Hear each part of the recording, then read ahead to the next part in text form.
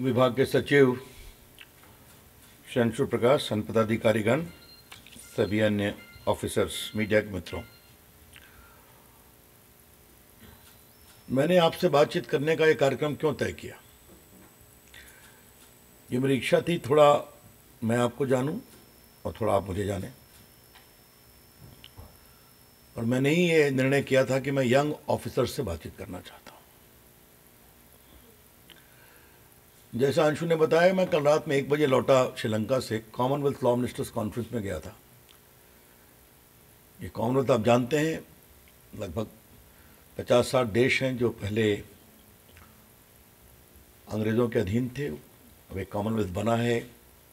हम लोग इक्वलिटी के आधार पर मिलते हैं और दुनिया का एक बहुत बड़ा मल्टीलैटरल फोरम है। और लॉ मिनिस्टर्स के कार्यक्रम के बाद फिर हेड्स ऑफ़ स्टेट के कार्यक्रम होते हैं तो मैं आपको ये बताना चाह रहा था कि तीन दिन में मेरे लगभग पाँच छः भाषण हुए।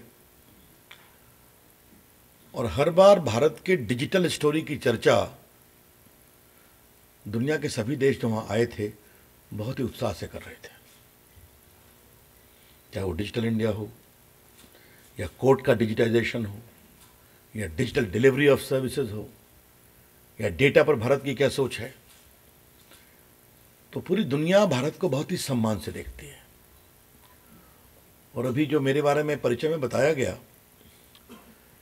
तो today digital India is being globally recognise and its success is resonating जब प्रधानमंत्री बाहर जाते हैं तो डिजिटल गवर्नेंस की बात करते हैं। डिजिटल पेमेंट की बात करते हैं। आज डिजिटल पेमेंट में भारत दुनिया का एक बहुत बड़ा देश बन गया आपको मालूम है। तो भारत के इस बहुत बड़े ट्रांसफॉर्मेशन में आपकी जमात की बहुत बड़ी भूमिका है। What is digital India you must understand digital India in simple words means to empower ordinary Indians with the power of technology, to bring a change in their life, bridge the digital divide, and most important, bring in digital inclusion, समावेशी भारत बनाना है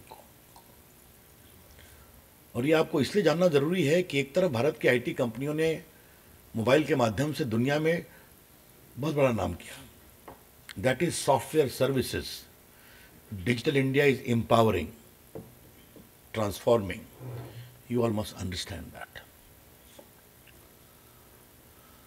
तो ये जो बदलाव है, जिसमें mobile की बहुत बड़ी भूमिका है।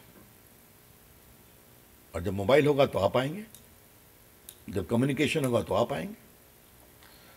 This the age of communication communication is power this the age of technology technology is power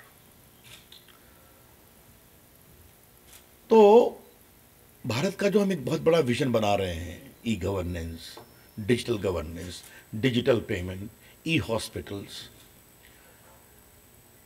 e scholarship e visa e NAM ये आज हम लोगों ने डिजिटल सेवा में कई नए मील के पत्थर स्थापित किए हैं। GST rights on digital you know that very well Ayushman Bharat rights on digital आपको पता है। ये दुनिया की सबसे बड़ी हेल्थ केयर स्कीम बन रही है।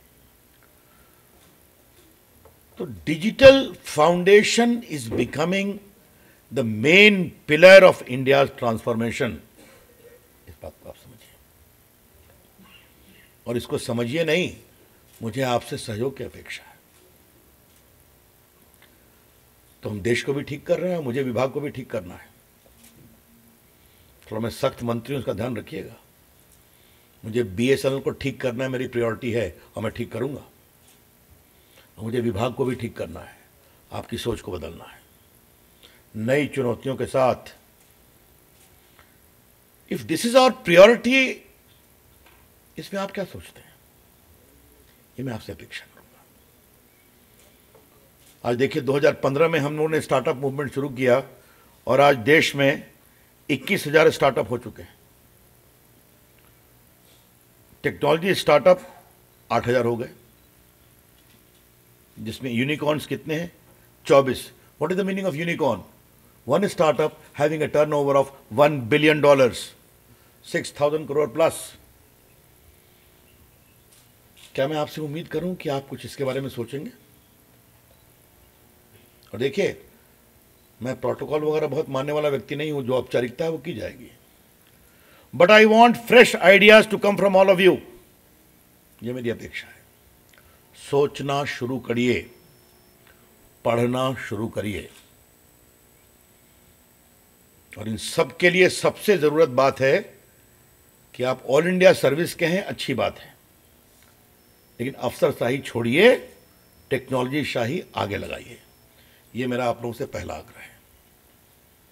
I want my officers they have come from all India service it's good but I want now you become torch bearer of technological transformation think about it innovate articulate share ये मेरी आप लोगों से अपेक्षा है। इसलिए मैंने कहा था कि यंग बच्चों को बोलो प्रेजेंटेशन करेंगे। आज मैं देखूँगा आपके सामने कैसा करते हैं आप। दूसरी मेरी आपसे अपेक्षा क्या है? और मैं सबों पर यह लागू है। वो ये है, देखिए देश बदल रहा है। मैंने बताया जैसे एक डीबीटी डायरेक्ट बेनिफिट ट्रांसफ़र हमने सैंतीस करोड़ बैंक अकाउंट खोले गरीबों के, जिनके बैंक नहीं थे। आधार से जोड़ा, मोबाइल से जोड़ा।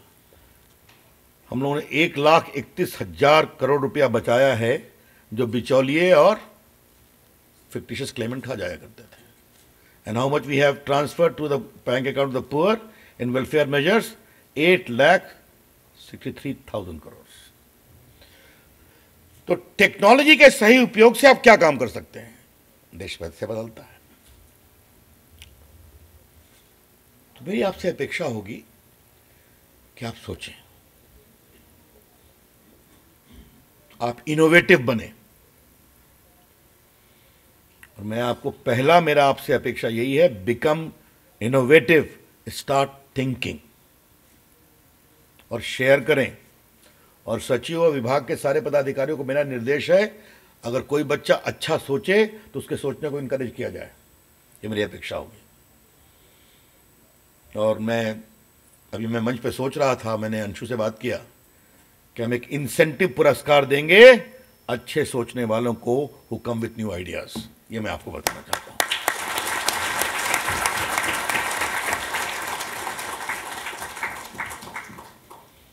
इसीलिए my stern message and mark mark my word my stern message I expect a qualitative change in your thinking process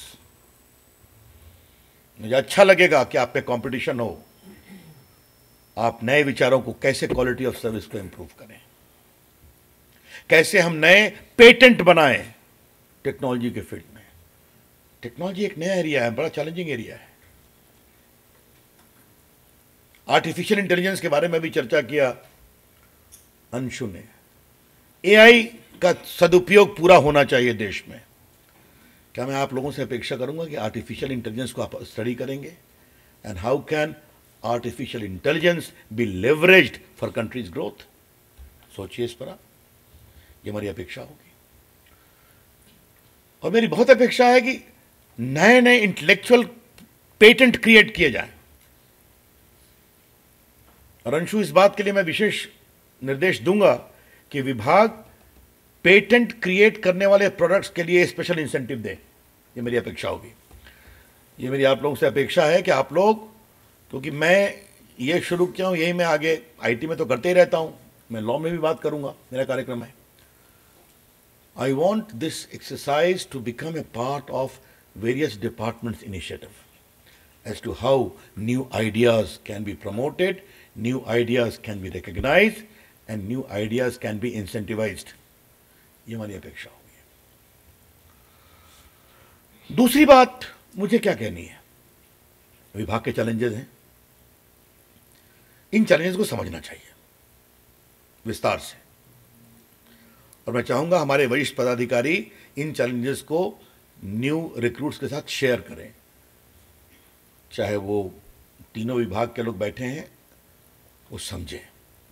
हमारे विभाग में क्या क्या करते हैं और क्या क्या चैलेंजेस हैं। उन चैलेंजेस के बारे में आपकी सोच क्या है? उसको इंप्रूव करने की। उन चैलेंजेस के बारे में जो आपके वरीय पदाधिकारी हैं, उनसे ज्ञान प्राप्त करिए। उस ज्ञान के आधार पर अपना योगदान करिए और कुछ नया निकालिए। ये मुझे आपसे दूसरी बात करनी है। इस संदर्भ में मुझे आपको दो तीन example just by way of illustration quality of service को इंप्रूव करने के लिए क्या क्या किया जाए? सोचिए आप। Cyber security safe internet safe communication के लिए क्या क्या किया जाए? सोचिए आप। ये जो हमारा भारत नेट है, इसमें लास्ट माइल डिलीवरी में नया क्या क्या करना चाहिए? सोचिए आप।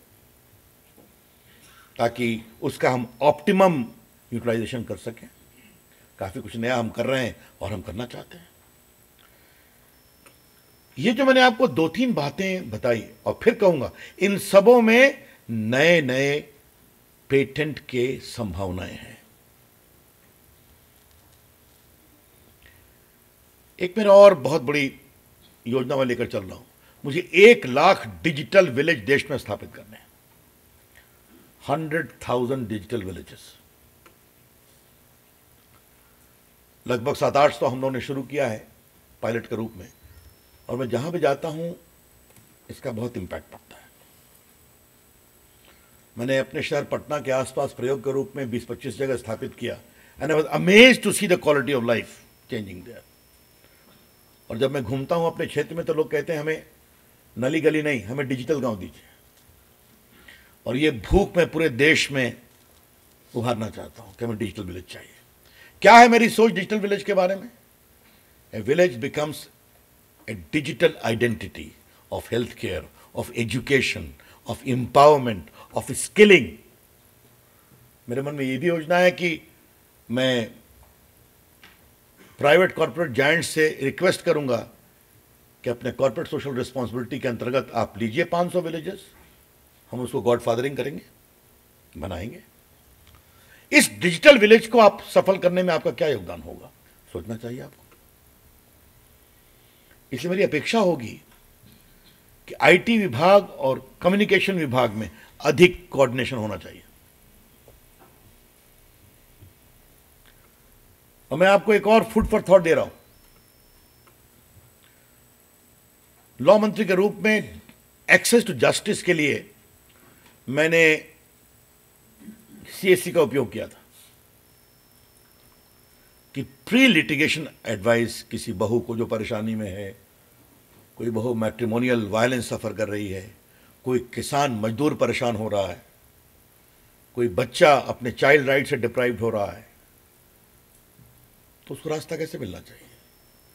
तो उन्हें वकीलों की एक पैनल बनाया और एक फिक्स समय में प्री लिटिगेशन एडवाइस उनको मिलता है। और फिर उनको आगे का एक रास्ता दिखाई पड़ता है। तुम ऐसे चलो, ये तुम्हारे अधिकार है, ये रास्ता बनाओ। या ये तुम्हारे लिए कंसिलिएशन मीडिएशन का स्कोप है।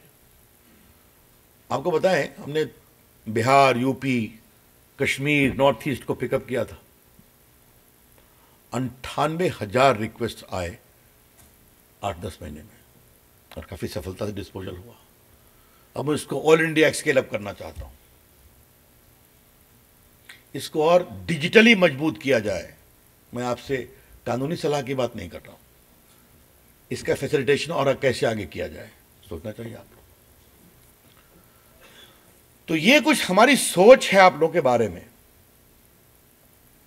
और ये सोचने के लिए आपको थिंकर बनना पड़ेगा ऑफिसर नहीं। और मेरी आपसे अपेक्षा है कि फ़ील्ड में आप जहाँ भी हों, जाइए, लोगों की दिक्कत सुनिए। उसका रास्ता निकालिए। और रास्ता निकाल के ऊपर बताइए। और मेरा अधिकारियों को स्पष्ट निर्देश होगा, जो बच्चे अच्छी सलाह दें, उस सलाह पे काम होना चाहिए। लेकिन उस सलाह को देने के पहले आपका होमवर्क ठीक होना चाहिए। तो जब ये करेंगे तो आपसे मेरी बातचीत का पर्पस क्या था? I want a new culture to dawn in the ministry of communication you must understand that And I'll appreciate if my officers who are senior here will also get the message which I'm trying to convey. I want a new transformative culture to dawn in the department of hard work, of performance, of delivery, of innovation, of thinking. ये मेरी पूरी सोच है तो इसीलिए मैंने सोचा था कि जो बड़े हैं वो तो बड़े हैं लेकिन जो छोटे हैं थोड़ा उनको पहले उत्साहित करूं जब छोटे उत्साहित हो जाएँगे तो बड़े पर असर पड़ता है। बड़े भी अच्छा काम करते हैं कभी मुझे टाइट भी करना पड़ता है। लेकिन आज मैं न, न, बच्चों के साथ नए उत्साह से शुरू करना चाहता हूँ। यह मेरी सोच। आप लोग काम करोगे कि नहीं मुझे साफ़ साफ़ बताओ। करोगे? पक्का? हाँ। जोश इज़ ओके? हाँ ठीक है। तो ये सोच होनी चाहिए। इसलिए मैंने, मैं लास्ट में बोलने वाला था, फिर मुझे लगा कि एक बार मैं, मेरा विचार क्या है आपसे बातचीत के लिए? अपना आइडिया आपको दे दूँ? और मुझे सबसे अच्छा लगेगा जब मैं यंग प्रोफेशनल्स और उनके इमीडिएट सीनियर में कंपटीशन देखूँगा तब। देखो, एक बात तुम लोग ध्यान रखो। सुनना सीखो। You always get new ideas and any new refreshing idea is always extraordinary it gives result इसीलिए तो मैंने अंशु से कहा तो आई एम वेरी हैप्पी कि इमीडिएटली एग्रीड तो उसने कहा, फिर बड़ा ही करते हैं. पहले मेरी इच्छा थी कि मैं पंद्रह बीस लोगों के साथ बैठूँगा। तो कहा, नहीं सर, फिर पाँच छः बैच के साथ बैठते हैं। तो मुझे बहुत अच्छा लगा, आप इतनी बड़ी संख्या में आए। तो इसको करना है मैं करूँगा। और देखो, मैं थोड़ा टफ मंत्री हूँ, ध्यान लो तुम लोग। मेरे ज़िंदगी का एक ही मकसद है परफॉर्मेंस बस. जो परफॉर्म करता है, मैं उसके पीछे खड़ा हो जाता हूँ। और जो परफॉर्म नहीं करता, उसको मैं नमस्ते कर देता हूँ। और ये तो ये मेरी सोच है, हमारे प्रधानमंत्री की सोच तो इससे कहीं और ज़्यादा है। देखो मित्रों, इस देश में बहुत कुछ करने के लिए है। और दुनिया आज हिंदुस्तान की ओर देख रही है। आपको पता है ना? ये तो तमाम वर्ल्ड इकोनॉमिक डाउनसाइजिंग की बात करते हैं India has receive the highest F D I in the last quarter in the first quarter of this year which is 28 percent higher than the previous year और उसका बिगेस्ट चंक कहाँ आया है? Telecommunication में और आईटी में।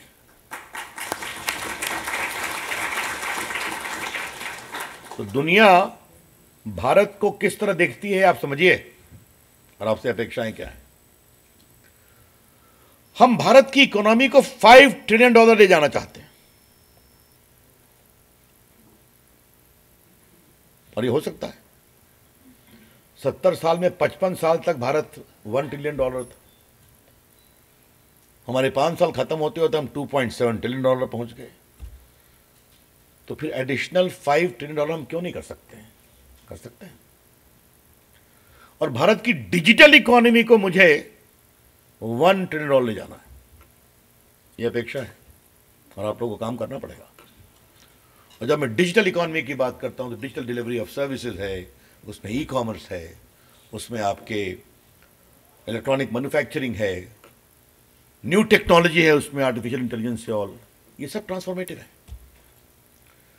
तो जब ये काम करेंगे तो आप देखेंगे कि भारत के, और देखिए, मैं हमेशा कहता हूँ कि भारत कैसे बदल रहा है? मैं चाहता हूँ कि आपके अंदर वो सोच रहे। जो स्टार्टअप मूवमेंट होता है ना, इसमें एक बहुत बड़ा अखबार अवार्ड देता है। तो मैं दो बार बेंगलोर गया था अवार्ड देने के लिए। और आज तक मैं नहीं भूलूँगा, एक 22 या 23 साल का बिल्कुल दाढ़ी भी ठीक से नहीं आई थी। Already raise one million dollar हमने कहा, तुम क्या करते हो? कहा, अभी आईआईटी से पास करके आया हूँ, नौकरी नहीं करूँगा। ये जो मैंने 24 बताया, जो यूनिकॉर्न्स हैं, मैंने जानने की कोशिश की, उसमें से लगभग एक दर्जन से अधिक ऐसे हैं जो अपने प्रोडक्ट को अमेरिका और यूरोप में भेज रहे हैं। अब पैसे कमा रहे हैं। तो today the world is looking towards India from skill development from innovation to startup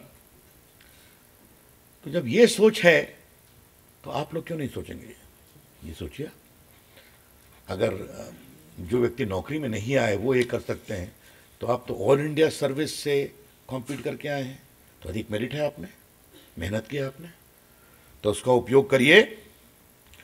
और जो हमारी वुमेन ऑफिसर से मेरी आपसे एक और अपेक्षा है, वो क्या है? वुमेन रिलेटेड इश्यूज़ को आप टेक्नोलॉजिकली कैसे सॉल्व करेंगे? ये मैं आपसे अपेक्षा करता आप देखिए इसको। और देखिए मैं हमेशा देखता हूँ, जब मैं फ़ील्ड में जाता हूँ, घूमता हूँ तो वुमेन एक्टिविस्ट मुझे बहुत एक प्रभावित करते हैं।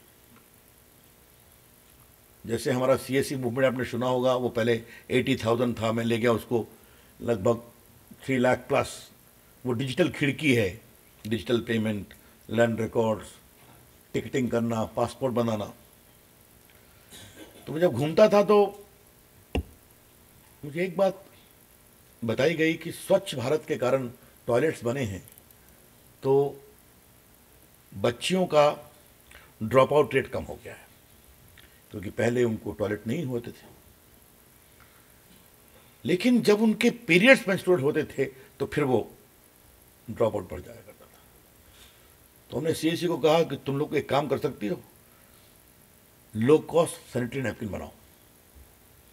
और ये मूवमेंट पिकअप किया and I could see the changes happening और फिर वो जाती हैं बच्चियों के स्कूल जैसे स्कूल चले हम तो स्वच्छ स्वच्छ रहे हम, स्वस्थ रहे हम. I would appreciate my women officers come with technological solution to the problems of India's women. ये तो वो करना है तो मुझे अच्छा लगेगा. और अंशु, इस बात की चिंता की जाए कि वुमेन ऑफिसर्स के लिए एक अलग से इंसेंटिव दिया जाए. अगर कुछ नया प्रोडक्ट लेकर के आती हैं तो वुमेन ऑफिसर्स को एक अलग से इंसेंटिव दिया जाए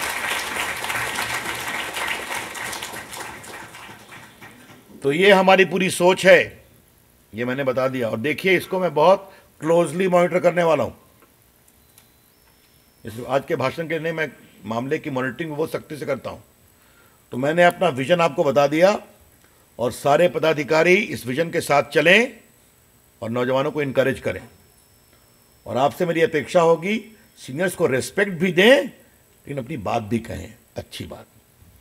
और कहीं आपकी कोई अच्छी बात सुनी नहीं जाए तो सीधा मेरे पास आ जाए। मैं आपको देखूँगा कि आपकी बात कितनी अच्छी है। ये हमारी सोच है। ये करिए। चलिए बहुत बहुत धन्यवाद। शुभकामनाएँ।